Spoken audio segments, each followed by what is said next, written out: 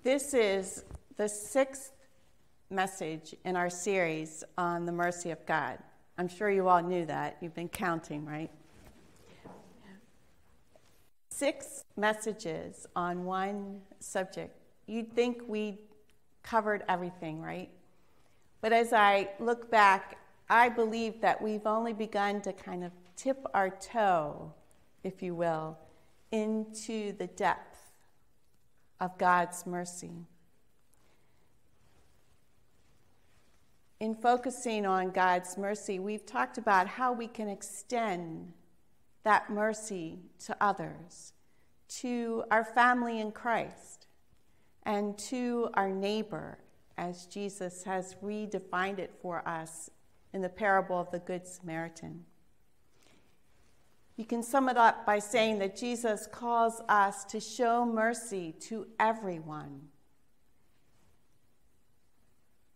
My message today is perhaps the biggest challenge for many of us, and that is extending mercy to ourselves. Be patient with all things, but especially with yourself. I'm one of those people, I fall into this category, and I often have to intentionally say to myself, be merciful to yourself. Learn to be patient with yourself. Accept the gift of God's forgiveness for yourself. For some of us, we are the hardest on ourselves.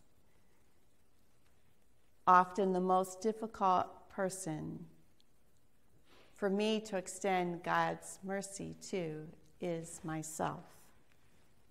I'm reminded of that African American spiritual, and if I had Katie's voice, I'd sing it for you.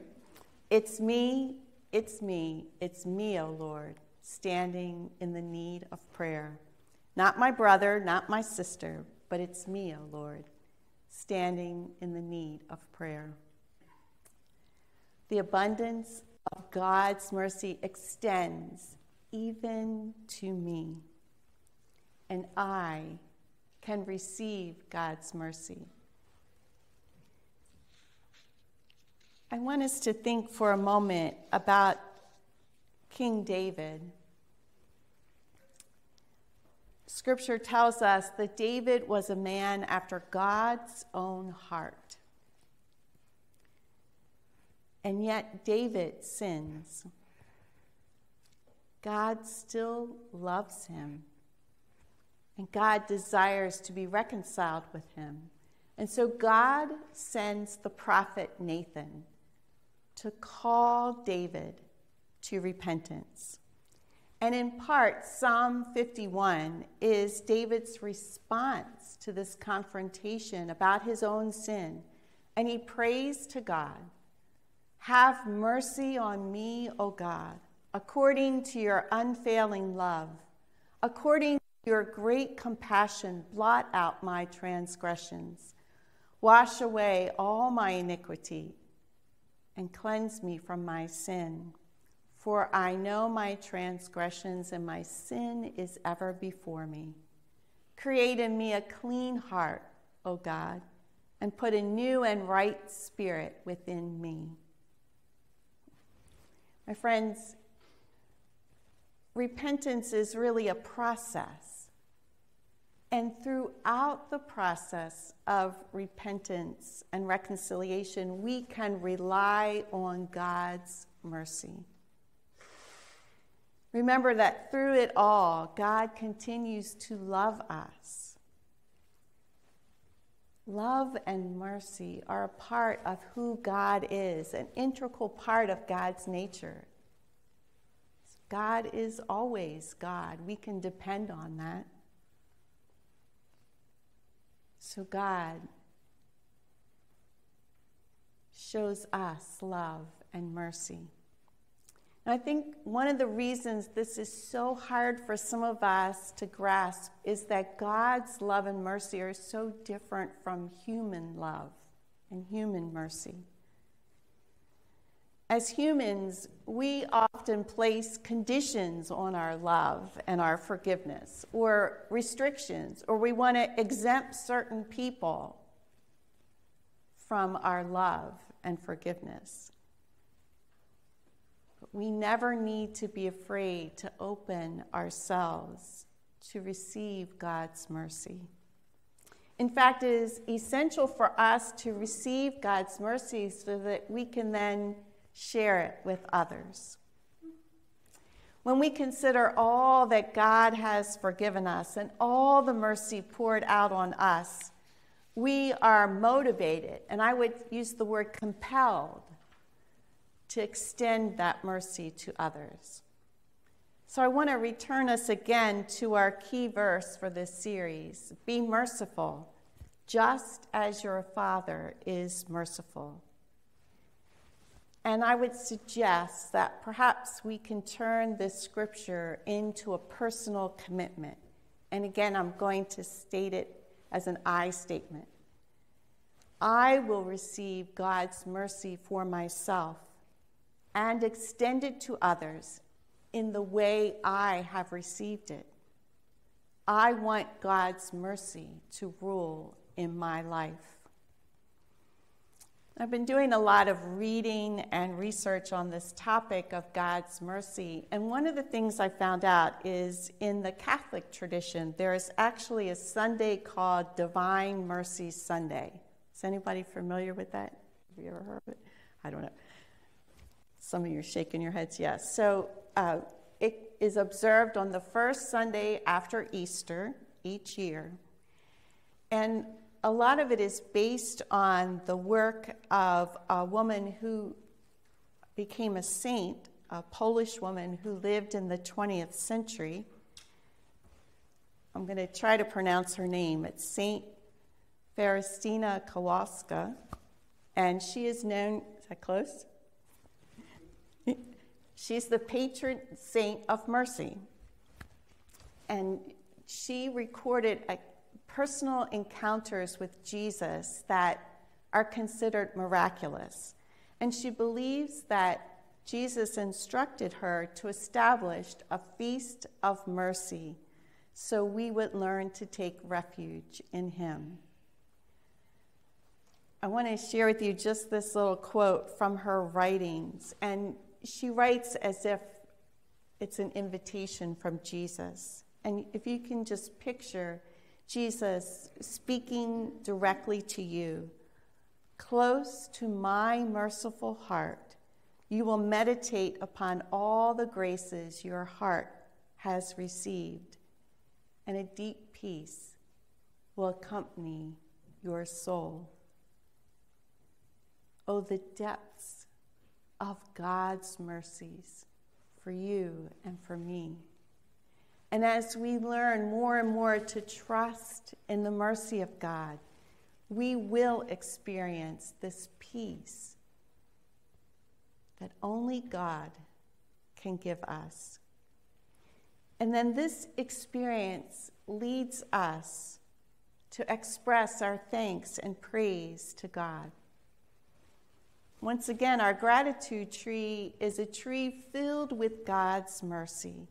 And for this message, I'd like to call this our Mercy for Me tree. At the bottom of the tree, just below the little red heart, is a reminder of our shepherd's care for us. The oil with which the Good Shepherd anoints his sheep and it's also the oil used by the Good Samaritan to show mercy to his neighbor, a man in need of his care. But today we also have a mention of oil used by the woman in today's gospel lesson. I told Katie I'm so glad she selected that song because I once did that as a duet. The words so well capture this woman's encounter with Jesus. She had kept this precious ointment in an alabaster jar for safekeeping. We don't know the cost that she paid with her life to obtain that oil and then to offer it to Jesus. She was keeping it for just that special time. She had waited to use it to express her gratitude for the one who had changed her life with his mercy, to express her love and gratitude to Jesus. All she wants to do is to thank him, to show her love for him. She had experienced through him the deep mercy of God and this divine mercy had transformed her. Even in front of all the other people gathered at that dinner, she has the courage to show her love for Jesus. The others there at the dinner are quick to judge her. She shouldn't have even been there with Jesus, they thought. They are so much more concerned with her past, her reputation, what they consider to be her sin. They're more concerned with all of that than with her repentance. Think about that. They are focused on her sin, which God has forgiven. They miss the joy of a life transformed. But how does Jesus respond to her expression of love and gratitude? He responds by receiving her gift with love and with thanksgiving. Jesus uses this occasion to teach a lesson, and he offers a parable about a moneylender who cancels debts. Now we know how the parable goes. There are two persons who owe this moneylender money. One is a much greater amount of debt than the other. But the moneylender forgives both debts. So, who would have the most gratitude, the most love? for the forgiveness of their debt. Jesus asked this question to the Pharisee Simon. The correct answer is obvious, and Simon answers correctly. And yet, he gets everything else wrong. And that is because he has failed to show mercy. But Jesus turns to the woman to her, Your faith has saved you. Go in peace. Jesus has extended God's mercy and forgiveness, God's grace. And this gift brings the woman peace in her life. Friends, we too are recipients of God's mercy and love and grace and the gift of peace.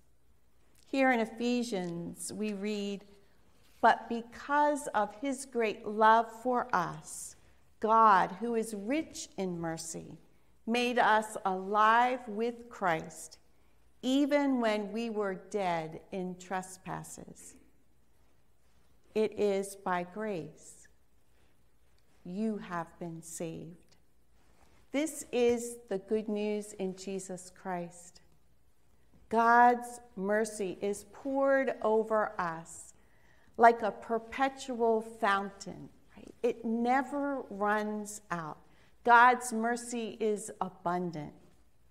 God is always giving us more mercy and love and forgiveness, more peace. There is plenty for us to receive so that we may receive this peace of forgiveness and new life in Christ. And because God's mercy is abundant. There is plenty for us to share, to extend to others, including ourselves. As I mentioned, the oil in Psalm 23, some of us have been studying the 23rd Psalm, and particularly from a shepherd's point of view. This psalm is attributed to David, who was a shepherd. The same David who also wrote Psalm 51.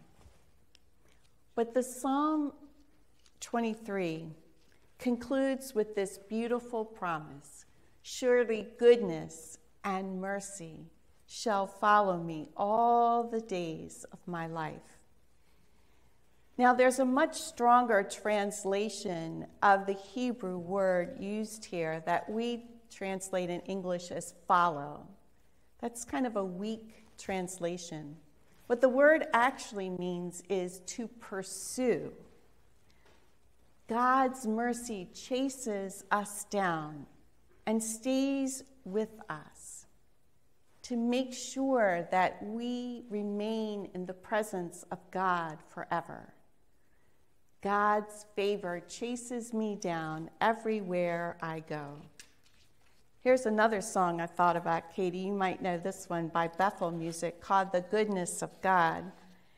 And there's this beautiful line that says, Your goodness is running after me. Can you picture that?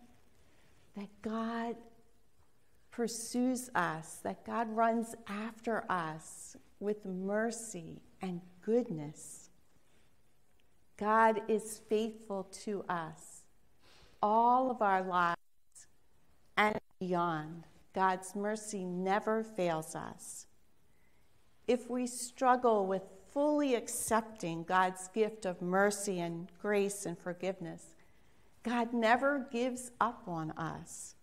And God continues to offer this precious gift to us.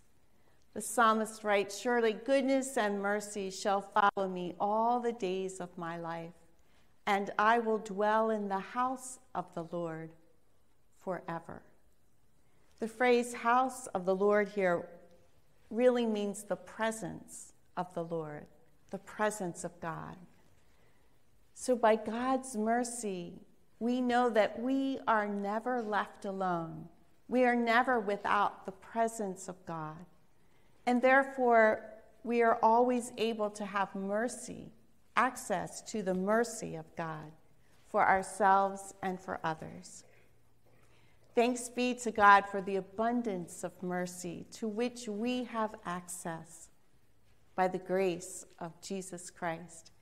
So we join with the psalmist in proclaiming our love for God because God hears our prayers, even when they are spoken through tears, even when our prayers are spoken with sighs too deep for words. Gracious is the Lord and righteous. Our God is merciful. Thanks be to God. Amen.